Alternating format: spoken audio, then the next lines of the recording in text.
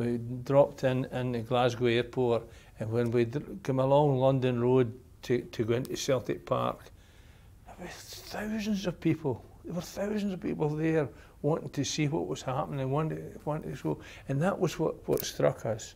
That's what really, really made us realise just exactly what we had done. And it was, it was wonderful.